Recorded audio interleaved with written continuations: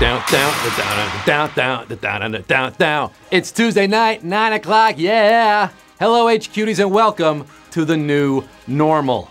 You, staring at your phone every night at 9 p.m., waiting for a man in a suit and tie to pop up on your screen and shout trivia questions at you while you scramble your brain to come up with an answer in 10 seconds.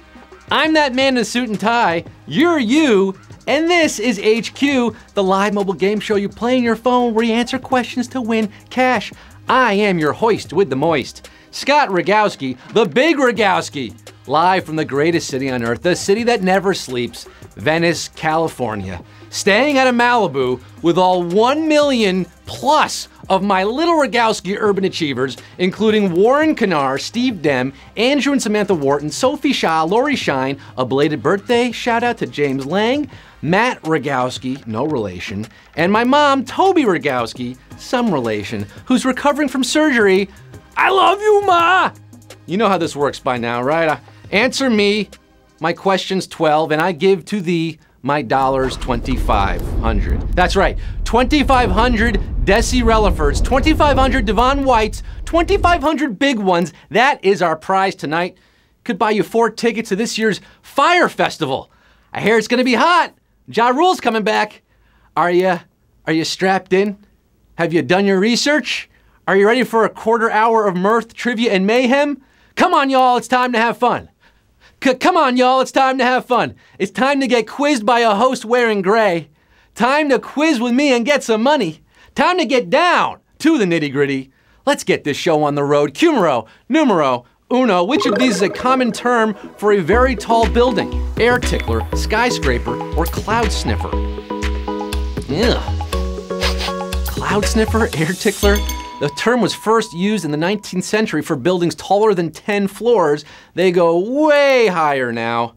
I gotta scrape the sky. Come on the spot, look, looking extra fly. We got skyscraper. That is your answer. 1,067,926. Got skyscraper. It sings a pretty tune. What is a band without skyscraper? 1,067,000 tickling the twine on the line for Cumero, numero tumero. Spider Man is known for flinging what from his wrists? Air freshener, webs, or liquid cheese? Hmm, maybe if Spidey lived in South Philly, he'd shoot liquid cheese on his steaks. Whiz with? But Peter Parker wasn't bitten by a radioac- radioactive can of whiz. No, he was bitten by a spider and thus shoots spider webs! webs! Ha! 1,058,000 22,036 of you are itsy bitsy H cuties crawling up the HQ quiz to Q3. The phrase wearing your heart on your sleeve means what? Openly showing emotion, wearing bright patterns, or having surgery? Oh no! Now, this is a saying, an idiomatic expression, okay? Do not literally wear your heart on your sleeve, especially in this weather.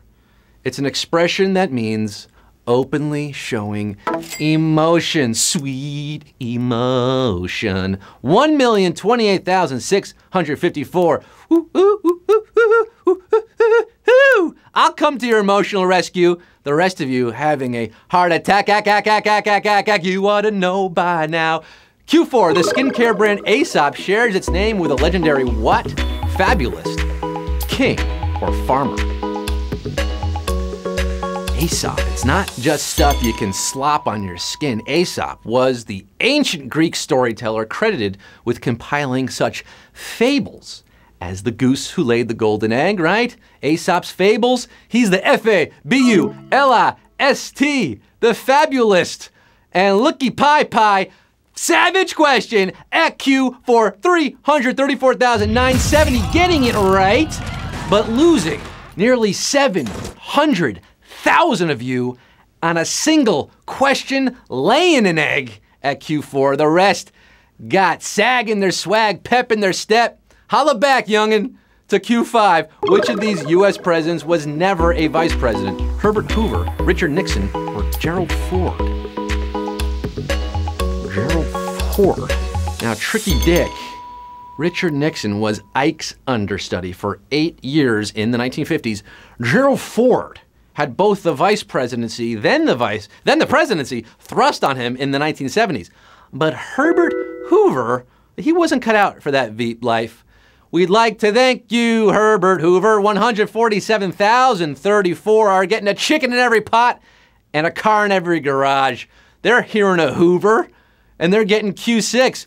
What was the nickname of the first manned airplane to break the sound barrier? Glamorous Glennis, Spirit of St. Louis, or Project Rocket?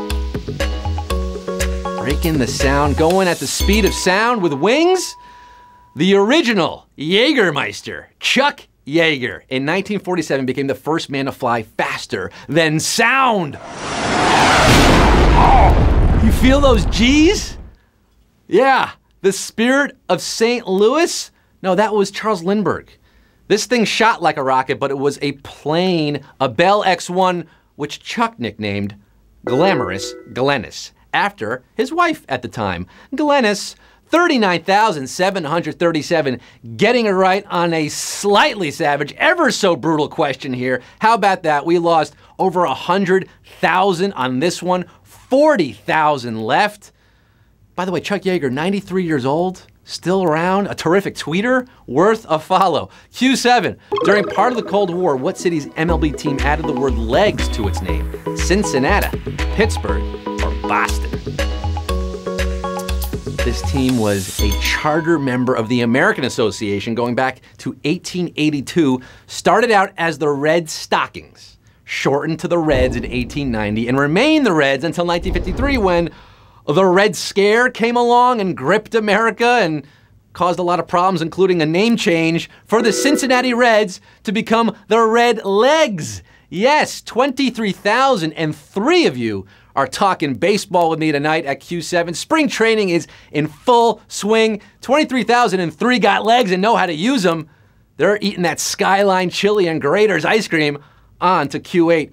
Which company's 2012 smartphones included Beats audio technology? Samsung, Apple, or HTC?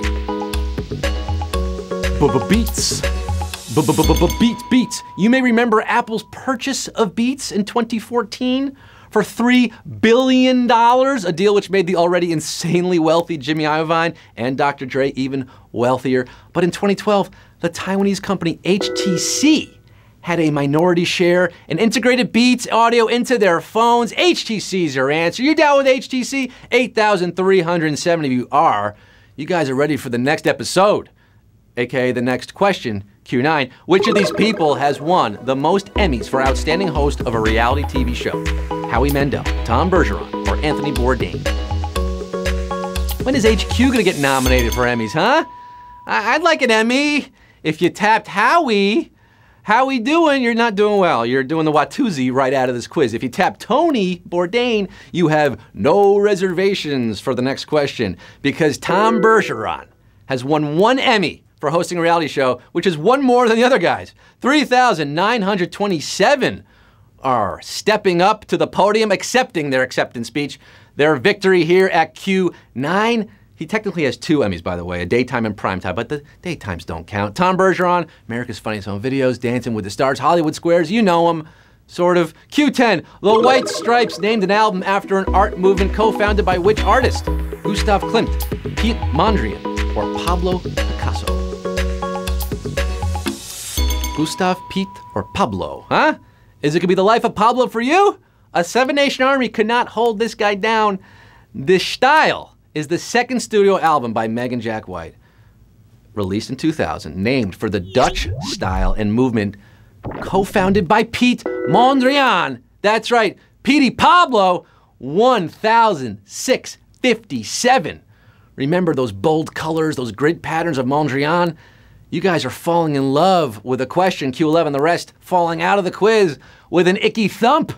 Q11 sprinter Justin Gatlin once ran a record breaking 100 meter sprint thanks to what advantage? An industrial fan, running downhill, or extreme high altitude?